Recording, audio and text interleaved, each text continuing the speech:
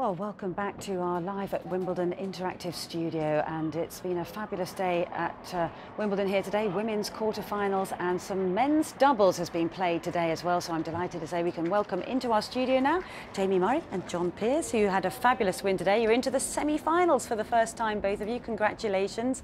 Uh, what's clicked with both of you? Everything. everything. Sounds good. the rain stayed away and the sun's been out this time. It's been good. Yeah. What about you, Jamie? What are your thoughts on how you've been playing and uh, what seems to be working well? Um, we well today we played a really solid match from start to finish. I think um, the two matches before that we were a little bit in and out. Um, but you know we managed to get through over five uh, five sets, which was uh, which was big for us because I think the last two years we played here we lost in five sets both times. Uh, so it was nice to get over the over the final hurdle in that case. Uh, I think today we served really well. In particular, I didn't really give them many looks on uh, on the return games because both those guys are well known for uh, for their returns. Um, and you know, we're looking forward to playing on Thursday and trying to get into the final. Nice to see that the whole was pretty much every seat was filled there. Nice to pick a Brit to play with. Yeah, I mean, that's good. Yeah, it's good. I Yeah, two, yeah. I get two home slams now. yeah, exactly. But that makes a big difference, I would think, for you. I mean, you don't play with the crowd support the whole the whole year, so to have it here must make yeah, a big it's difference. huge for us. I Huge, think yeah. um, you know a lot of times we're on the road. We're not necessarily playing in front of huge uh, stadiums and in front of a lot of people. And you know, for us to play here, play big courts, but you know, see a lot of people come out to support us. And today was pretty packed again. So yeah, it's more inspiring to get out there and try and play some great tennis. Because sometimes it's easy, it's nearly more important when you're playing doubles. I found when I was playing because there's shorter points and you need to be more fired up because things happen with singles. You you sort of get, you know, it's you and the other guy and you don't care who's watching. But doubles is all about uh, inspiration and spontaneity. My, and- momentum can come from anywhere. It can come from a little little shank or, or you can just some couple of reflex here or there. Mm. The points can change so quickly, and that's that's a key thing we found today. We just kept the momentum rolling and rolling, and we kept on top of them today. Mm, We good. had Leander Paes in the studio earlier today, and he's obviously spanned across many, uh, not Decades. yeah, decades exactly. I think we were saying what was it? into- centuries. Yes. yeah, 19th hand back to Into his seventh uh, Olympics, I think you said Yes, earlier going to today. seventh, but uh, he was talking about volleys and how it's progressed and come on. In your time, both of you out there on the tour, what have you noticed the changes in men's doubles? Because it seems every time I watch it, there are so many different things going on. It's almost like gambling out there in terms of what you do. But I'm sure there's a real art to, to some of the, the techniques and things that you do. I think I think a lot of the intricacies have gone out of it actually. I think um, a lot of it now your kind of modern doubles players like big serve, take a big cut on the return. A lot of guys staying back now on their serves and you know wailing away at forehands. Uh, that's not my style at all. um, complete opposite to that. Um, you know, but John he can trade with the guys. I mean, he's got a great forehand. He's got a big serve as well. Um, you know, and I think. You know, it's probably not like you used to see doubles No, sort of like not 10, 15 years ago. Um, but, you know, we've had to adapt to that as well. Um, you know, we're always going to work on our reflex because the ball's coming so fast at you these days. You get such little time to to react. Um, like John made a couple of great steals today off big shots, um, and in the match yesterday as well. Um, you know, things like that. You know, that's just that's what you've got to be good at. Try and defend those balls as best you can because you know these guys will stand there and hit all day at you. But is it easier to play the old-fashioned doubles, like you say you, you like to play on grass? Yeah, Because- definitely. Yeah, because the guys, I mean, you know, it's like you've got less time on the return. You know, it's on clay, the ball can kind of sit there and Sit you know, guys against running around and yeah. yeah, the ball's shooting through more. So guys got less time to kind of load up and you know Mm. give the ball a smack. So.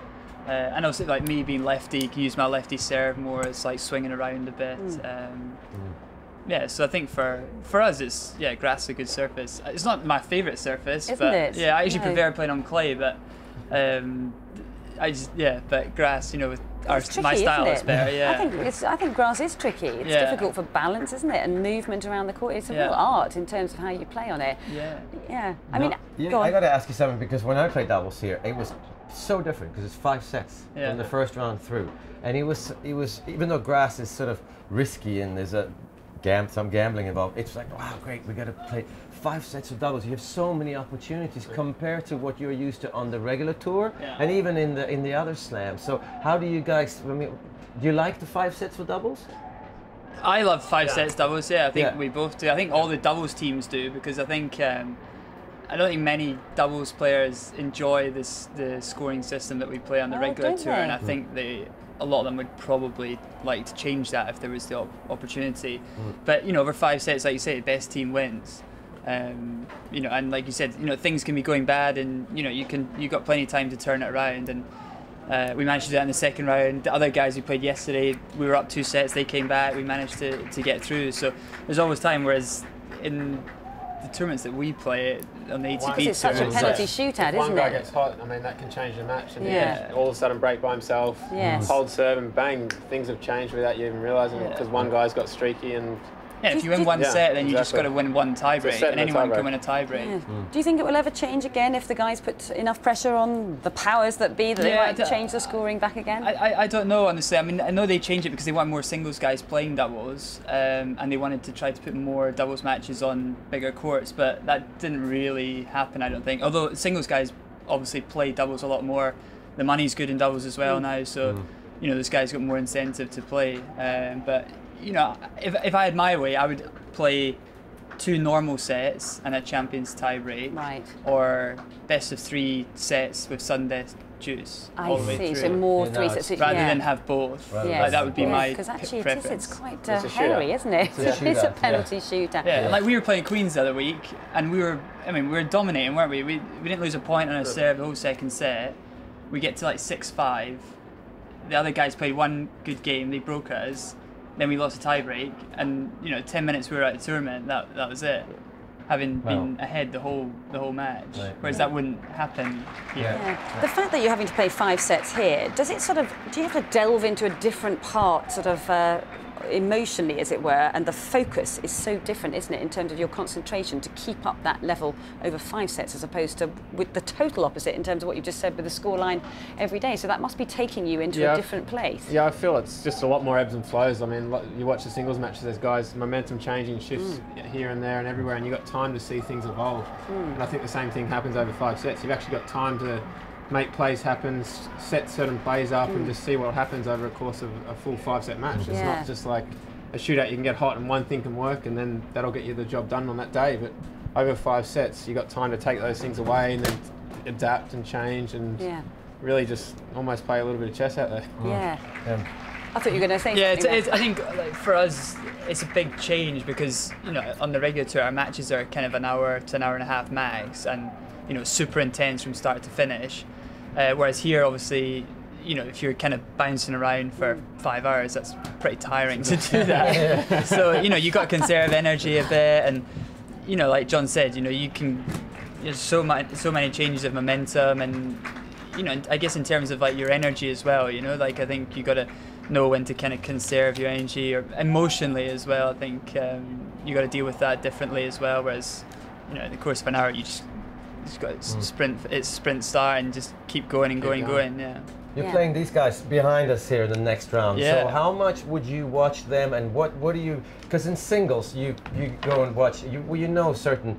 You know that your brother's forehand might not be as good as his backhand. We know that, but then you look at tendencies, right? It's Yeah, easy in yeah, yeah. singles. In doubles, I always found it hard to. Oh, well, I know the one guy has a worse backhand than the forehand when they came to the net, but what else do you guys look at? Do you are they Yeah. playing good as a team right now, or Yeah, I think for I mean I like getting out and watching matches because you never know what you might pick up on, and Right. you know in doubles, it's, I think it's a lot more tactical than singles. Um, you know we have like our set plays that we like doing. Um, I'm sure those guys as well. You know whether it's you know serving to a certain place and your partner moving to a certain spot on the do court. you know all those set plays from all the doubles teams?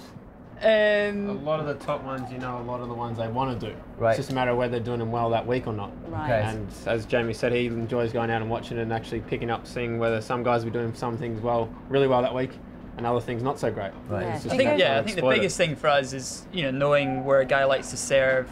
Um, On a probably his point. better return or his weaker return. Hmm. You know, and if yeah, so say the guy's serving wide, does his partner like to cross or does he stay or whatever, that sort of that sort of stuff. Are you both big signalers behind the back? uh, yeah, a little bit. A little yeah, bit. 'Cause somebody told me that even now on the men's tour, that they have scouts out down the other end watching the signals and I- then having somebody pass it on that down really- the I don't end. think that's true. I've never experienced that. Let's put it that way. It was Max quite Murray, he told me one time he was playing in the French Open and he was playing uh, two guys, not going to name them, but they they were playing I formation a lot, and Yeah. the, the guys they were playing against kept avoiding the guy at the net, Yeah. and they were like, how, How do is they he keep doing doing this? Yeah, and then a they realised that scout they had a guy at the in back the of the other end. court giving Yeah. them, you know, Oh, this really? one, yeah, yeah. Is It's that- hilarious. That's It- not it- legal, yeah, obviously. I know, it's quite funny. Yeah. Uh, just give us your thoughts on the singles that's going on. I mean, what happened today? Novak Djokovic coming through against Cilic. That was quite a win, wasn't Kevin it? Anderson. John, what do you think? Oh, I didn't even know that. Oh, actually. you I didn't probably know that. Kevin Anderson. ah, yeah, you haven't seen it. Okay. Okay, And- came and am through 7-5 in the fifth against Kevin Anderson today.